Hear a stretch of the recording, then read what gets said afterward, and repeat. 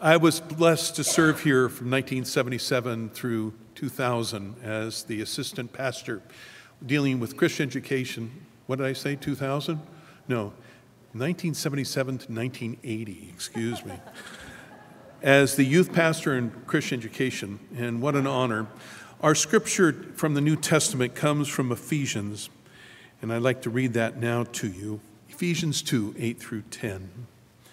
For it is by grace you have been saved through faith, and this is not from yourselves, it is the gift of God, not by works, so that no one can boast.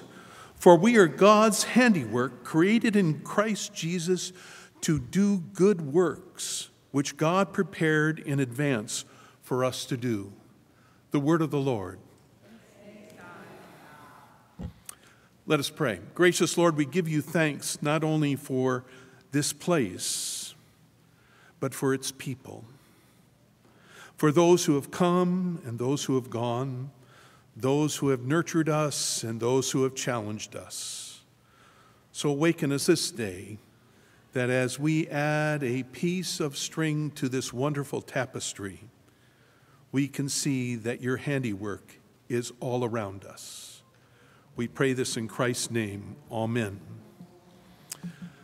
When I graduated from Princeton, I was given many opportunities to interview and come to love many different types of churches, East Coast to West Coast. But I came here to interview, I thought, with Dr. McCullough, David McCullough. He reminded me that I was born the year he graduated from seminary. I said, Oh, thanks, David.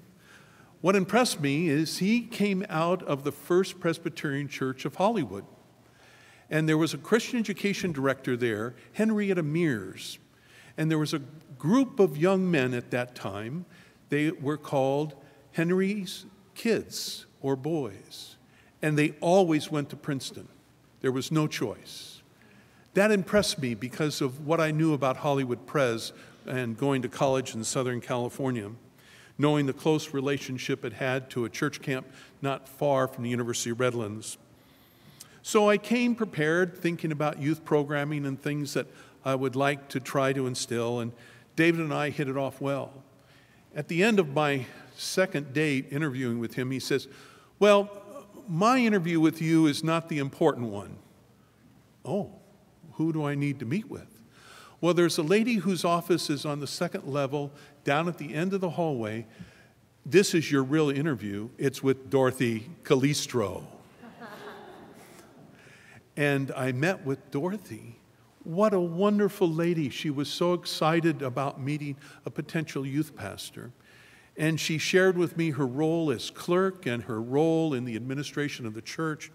She knew the history Doug, as I heard what you said on the video about every nook and cranny, she preceded you in knowing about every single brick and every place. I was a little intimidated until she just disarmed me with her love for Jesus Christ and the love of this congregation. And then I met a character, and I choose that word carefully. There was a guy here by the name of Paul Fleckenstein. Anybody remember Paul?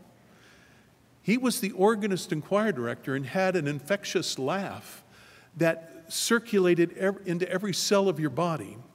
And myself being a, a, a, vocalist and my wife being an organist, Paul and Becky hit it off well, and Paul made a laugh that he said, Well, I'm a Catholic serving in the Presbyterian church. I got to make sure Becky, as a Presbyterian, can serve at the cathedral. So as Paul was here, Becky was over there for our time here, and what a joy that was.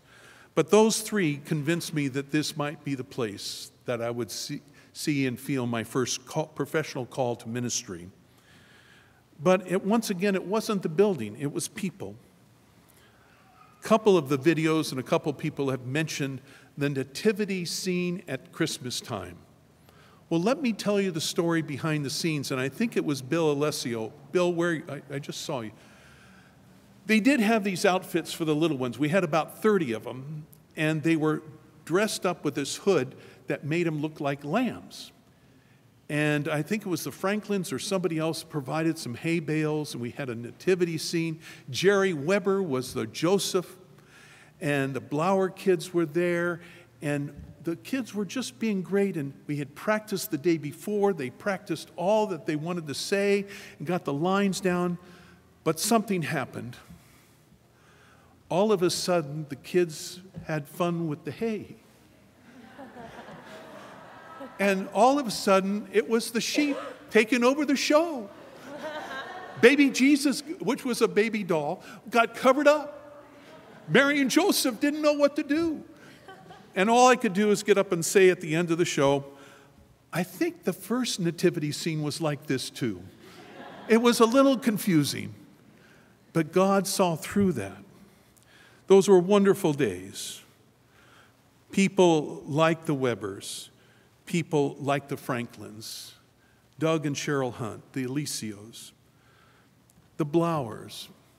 My first Sunday here, where I had a chance to preach, Bob Blower, I don't know, is Bob here? I don't know if Bob's here today or not. Bob is here.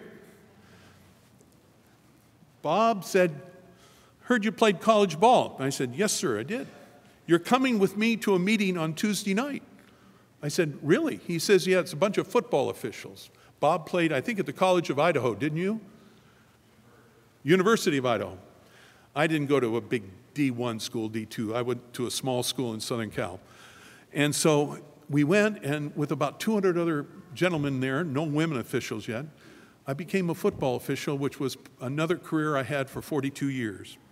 And Bob, I will be eternally and forever thankful for that introduction.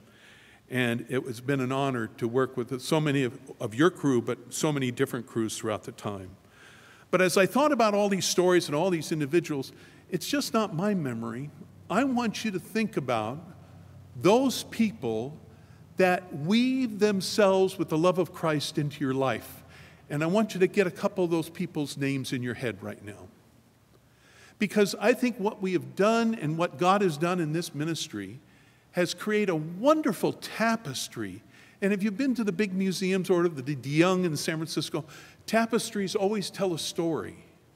And the tapestry of this church includes the threads that you have weaved into it. So I want you to say out loud the name, first or second, or both of them, of the people that have weaved their spiritual lives with the gift of God into your lives. What families weave themselves into your lives? Any names? Rosen?